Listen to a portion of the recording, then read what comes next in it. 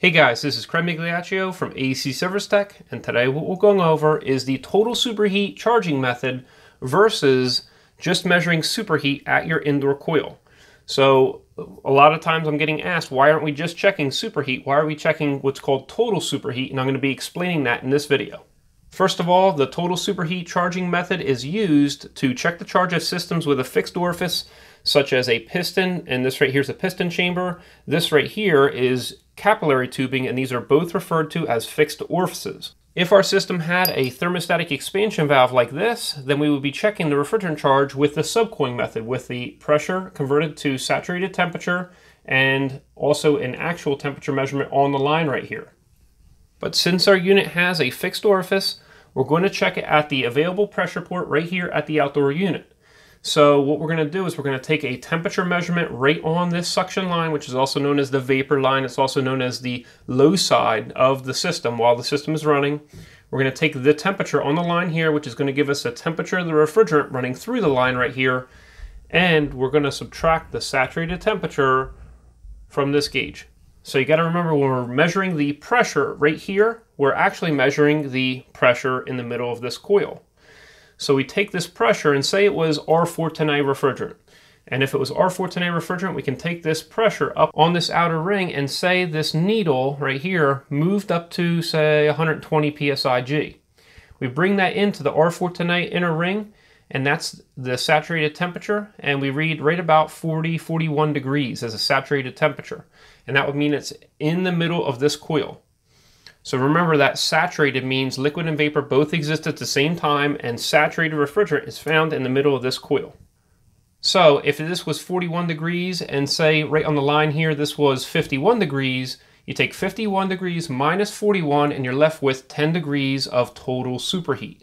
It's always called total superheat when you measure at the outdoor unit because you're taking into account any change in the superheat coming from this evaporator coil right here from after where it exits the coil until it makes it over here. So maybe it goes through an attic and maybe you are increasing the superheat before it comes out here over to the outdoor unit and enters into the compressor, or maybe this suction line is running into the ground. And so between your evaporator coil here and your outdoor unit, it's actually giving up some of its superheat. And so that's why this is called the total superheat method right here when you're checking it at the outdoor unit. Just to briefly touch on what superheat is, when the refrigerant comes out of this outdoor unit, it's a subcooled liquid, which means it's a, a liquid that has lowered in temperature after it's, it's completely changed into that liquid state. So you have your liquid coming over here, it's called a subcooled liquid, and it's hitting the metering device. So it comes into this metering device as a high pressure, high temperature liquid refrigerant, and then it comes through this pressure reduction. It's a restriction. It's also called the expansion valve. And it allows the refrigerant to lower in pressure and for the refrigerant, it allows it to expand because it's going into this coil right here and you have a lot more available space compared to in this one line right here. So you're lowering in pressure and you're expanding into a into a saturated state and it comes into this coil as saturated, which means that both exist at the same time. And then as it comes up through this coil, as the air is passing across this coil right here, it's changing from saturated refrigerant into a vapor. So maybe when it comes through the metering device, it turns into, say, 80% liquid, 20% flash gas, and then by the time it's up here, it's reversed. It's like, say, maybe 80% gas and 20% liquid. And by the time it comes up to here, as the refrigerant traveling through the tubing is absorbing the heat that of the air going across the coil, it's turning into a complete vapor refrigerant. Once it turns into a complete vapor refrigerant, the temperature increase between where it first comes out of the saturated state and where it exits the evaporator coil out right here, that is called the superheat. So it's any increase in the vapor refrigerant's temperature between, say, right here and right here where it exits the coil box at. So that is what's called superheat. By the time this vapor refrigerant ends up over here, when we were checking the, the superheat over here, it's called total superheat because it has to take into account any change in the superheat from here to here. So why do we check that? Why do we check it over here? It seems like it would be more accurate if we checked it over here. Reason number one is you usually do not have a vapor port right on the outside of the evaporator coil box in order to check your superheat. So you would need a pressure port in order to convert the pressure to saturated temperature, and then you would take your line temp in order to, to determine what your superheat is. However, you don't need to have a, a port right here. You could remove the cover of the evaporator coil, and if you know that the refrigerant exits this metering device as a saturated refrigerant, as soon as it comes into this evaporator coil, you could just go ahead and take a temperature measurement right on the, the tube right here.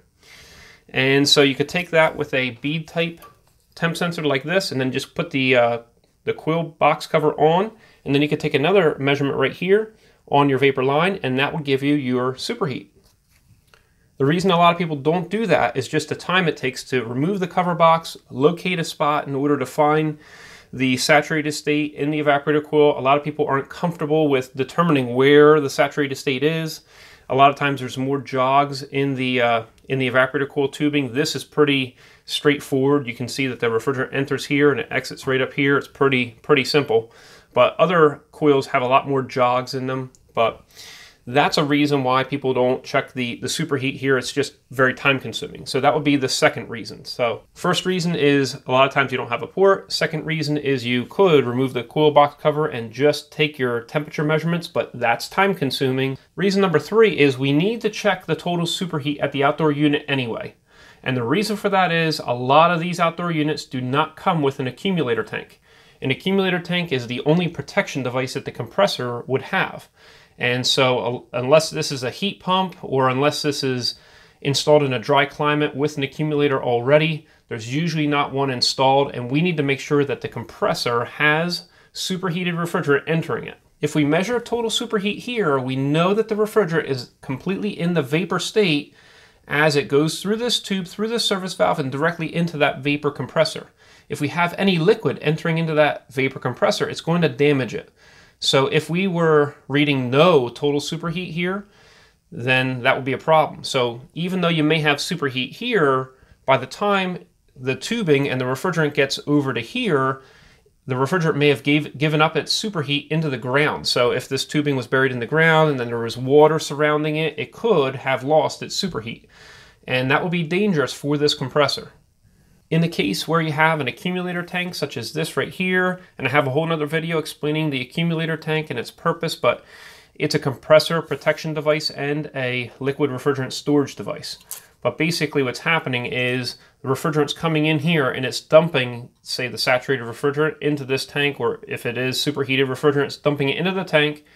And then this tube is picking up the vapor at the top of the tank. It's coming through here, picking up any liquid that's in the bottom of this tank, and coming up to here, it's pulling in some more vapor, helping this the oil and small amount of liquid refrigerant that's entering in this tube. It's allowing it to vaporize before it goes right into the compressor. So that's what the accumulator tank's purpose is. And most standard systems that are single speed or two speed air conditioners only don't have that accumulator tank. So it's therefore that's the third reason why we check total superheat is to make sure that the compressor is safe. The fourth reason is that the total superheat and the superheat are normally very close, within, say, a degree of each other, unless this vapor line is extremely long or there's some type of uh, pressure change between here and here, or maybe this, this tubing right here is running through the ground. You know, that's the exceptions, but in most cases, the superheat here is going to be extremely close to the total superheat here, and that's why we set the, the refrigerant charge for a fixed orifice system with the total superheat method. And so it just a one-stop shop basically, and that's why we're measuring it at the outdoor unit. Now there are a few circumstances in which you may want to check the superheat at the indoor coil. And this is one right here. This coil came out of a, a high velocity system and it has a thermostatic expansion valve with an adjustable stem and it has an additional pressure port right here to check and adjust the, the superheat with. Other times you may be troubleshooting a system and maybe you read a normal to say high superheat out here and the system's just running, running, running. Maybe you want to check the temperature on this line here to see if there's a difference between here and where it enters the outdoor unit at here just to see if there's some type of uh, pressure change or there's some type of other issue going on. If you want to learn more about checking the refrigerant charge and preparing a system for refrigerant all the way through to advanced things like troubleshooting and troubleshooting low airflow problems, you can check out our book. We have the full outline available over at our website at acservicetech.com. We've also developed a thousand question workbook to go along with the book to test your knowledge, and we also provide a self-study answer key as well, so you can go ahead and test your knowledge with that. And we also have quick reference polystyrene cards, so these these cards will hold up real well. And so you can check the refrigerant charge uh, with the total superheat method or the subcooling method, check delta T. You have the PT chart, you also have refrigerant weights, a troubleshooting guide, and also a walkthrough if you have a frozen evaporator coil. So you can check these out over at our website at acservicetech.com, and we also have these available over at amazon.com. All of our physical products are available over our website at acservicetech.com. They're also available over at amazon.com. Make sure to check out our ebook and also our Spanish ebook available at our website and also on Google Play. Hope you enjoyed yourself, and we'll see you next time at AC Service Tech channel.